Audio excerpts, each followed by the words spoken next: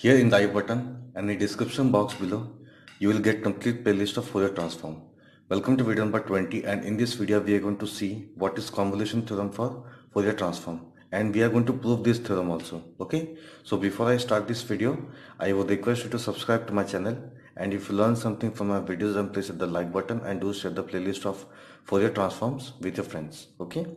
If you are doing this you are going to support me. You are supporting me indirectly yes so what is convolution for uh, theorem for uh, Fourier transforms? That is the convolution of two functions that is f of x and g of x over the interval minus infinity to plus infinity is given by how to read this? Yes convolution of f of x and g of x okay?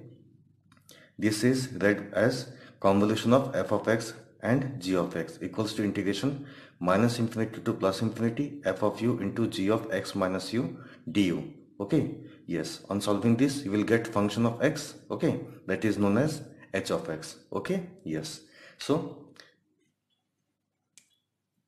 the Fourier transform of convolution of f of x and g of x is the product of their Fourier transform. Okay, we are going to prove this. The Fourier transform of convolution of f of x and g of x is the product of their Fourier transform. That is Fourier transform of convolution of f of x and g of x is equals to Fourier transform of f of x into Fourier transform of g of x. And in this video we are going to prove this. Okay, let us try to prove. But you need to know one formula. Okay? And the formula is yes that is convolution of f of x and g of x is equals to integration minus infinity to plus infinity f of u into g of x minus u du. Now we'll start proof we have f of Fourier transform function that is f of x equals to integration minus infinity to plus infinity f of x into e to the power i s x dx. Okay this is the Fourier transform of any function that is f of x and that is equals to integration minus infinity to plus infinity f of x into e to the power i s x dx. Okay now we'll take the left hand side part. Okay that is Fourier transform of Fourier transform of convolution of f of x and g of x. This is equals to yes we have the formula of convolution of f of x and g of x that is integration minus infinity to plus infinity f of u into g of x minus u du okay? It means if you're finding Fourier transform of convolution of f of x and g of x it means you are finding Fourier transform of this integration that is integration minus infinity to plus infinity f of u into g of x minus u du okay? Yes now applying the formula that is Fourier transform f of x equals to integration minus infinity to plus infinity f of x into e to the power i s x dx okay? But here the function f of x is what? This integration okay? So here we have integration minus infinity to plus infinity. In place of this function we are going to write this integration that is yes within this curly bracket we have this function okay? That is integration minus infinity to plus infinity f of u into g of x minus u du okay? Yes e to the power i s x into dx now we will change the order of integration okay? Here we have this integration is for u and this integration is for x okay? Now we are going to change the order of integration. But you can see one thing that is the uh, the limit for u is minus infinity to plus infinity and the limit for limit for x function x is again minus infinity to plus infinity okay? It means on changing limit is not going to change okay? So this is going to be on changing the limits okay? On changing the order okay? That is first we need to integrate with respect to x thereafter we'll uh, integrate with respect to u. So if you are integrating with respect to x so f of u will, will become constant so we can take this f of u out of this okay integration. So this is going to be integration minus infinity to plus infinity f of u because we are integrating with respect to x and f of u is constant okay? So f of u into yes integration minus infinity to plus infinity g of x minus u e to the power i s x because this is a function of x and this is also function of x okay? Into dx then after solving this integration we will yes integrate this with respect to u okay? Yes. Now here you can see we are going to put okay that is x minus u equals to t okay? So x minus equals to t. On differentiating we will get dx equals to dt fine? And if you want to find what is x then x equals to t plus u. Simply take this minus u here. You will get x equals to t plus u. Okay? So coming to the integration part. Okay? That is this part. Okay? Integration minus infinity to plus infinity f of u.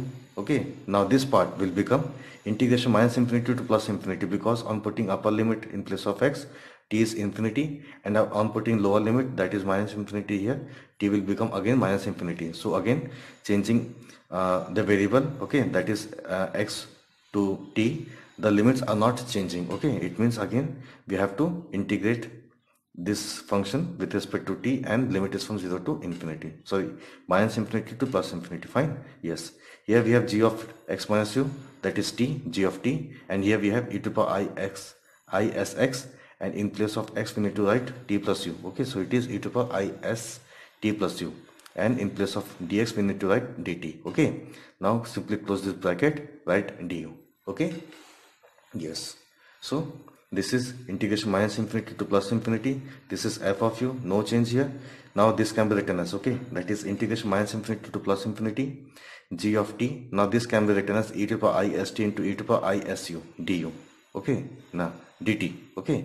E to the power i s t into e to the power i e to the power i s u into dt after closing this bracket you can write du here okay? Now again you can see yes here we have e to the power i s u which is independent of t. So we can take this here that is integration minus infinity to plus infinity f of u into e to the power i s u okay? Yes now we can write this part okay? That is integration minus infinity to plus infinity g of t into e to the power i s t dt.